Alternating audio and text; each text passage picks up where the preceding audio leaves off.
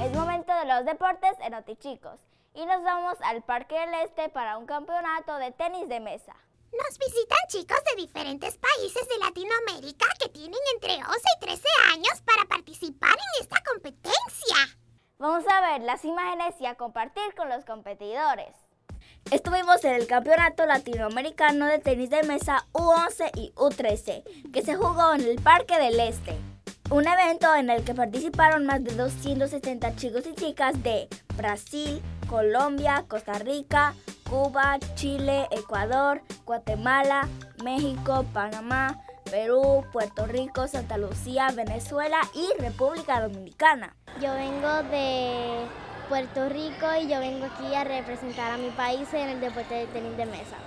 Todos están esforzándose, dan el máximo, luchan los partidos.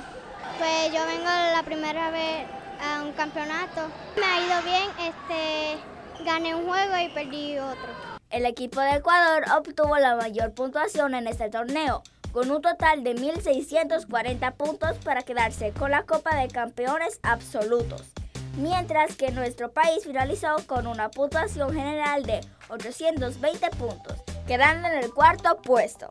Asimismo, nuestro anterior reportero invitado, Rafael Cabrera, conquistó tres medallas de oro de individual, dobles y equipo, siendo el mejor en su categoría. Lo que más me ha gustado es este todo, eh, dónde jugamos, dónde nos quedamos, contra quién competimos. Ya he ido a varios campeonatos afuera del país y he ganado muchas medallas por Guatemala.